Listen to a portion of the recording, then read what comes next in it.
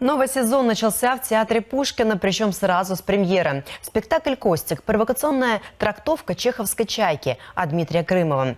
Режиссер, известный своими экспериментами с классикой, оставила от оригинального текста только конву и героев, а еще оттенок тонкой и горькой иронии. Что получилось, узнала Наталья Тарасова. Чеховская «Чайка» кричит со сцены театра имени Пушкина, только это скорее отсылка к классике и даже не авторское ее прочтение, а новый самостоятельный спектакль «Костик».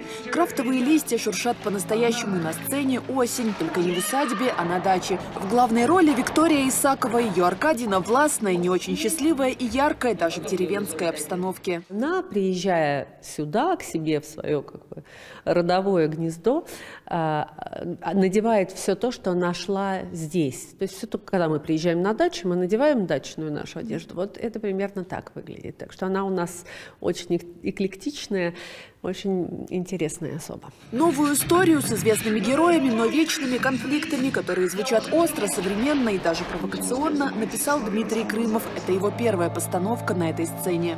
Я стремлюсь, чтобы в театре Пушкина было все самое лучшее, э, интересное и талантливое. А Дмитрий Крымов на сегодня, наверное, режиссер номер один в драматическом театре. В этой истории герои размышляют о культуре и государстве, о таланте, новом искусстве и совести.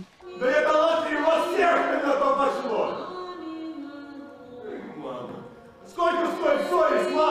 Осталось место и для любви. Костик Треплев в спектакле Крымова безрукий драматург с зелеными волосами, талантливый и отчаянно влюбленный, но как и столетия назад и без взаимности.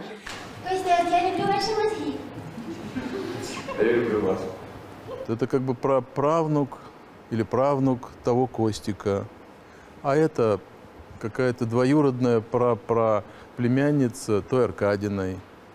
Но конфликт э, нового и старого, он, в общем-то, всегда. И все же пронизывающая чеховская атмосфера грусти и иронии осталась. Диалоги современные, зрители остаются в напряжении. Безмятежность сохраняет только один персонаж.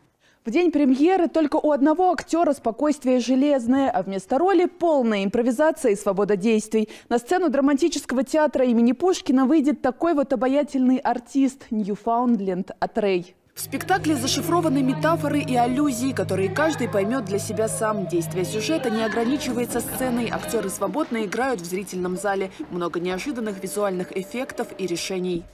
Я люблю такой театр, который ты видишь, как из простого, из простых вещей вдруг создается что-то восхищающее тебя или поражающее. У нас э, в открытую происходит перестановка, у нас осень превращается в зиму. Зима эффектно кружится в балетных па. Белье стоит на морозе колом. По сюжету Костик погибает. Но и нет. Каждый зритель уносит с собой частичку его таланта и смелости, которая сквозь тоску вселяет надежду. Наталья Тарасова, Юрий Тимошин, ТВ-центр.